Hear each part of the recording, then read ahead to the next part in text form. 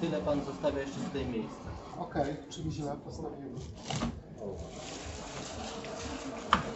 Wcześniej dlaczego?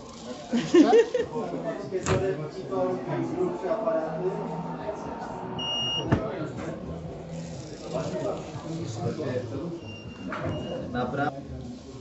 Tak? Jedziemy.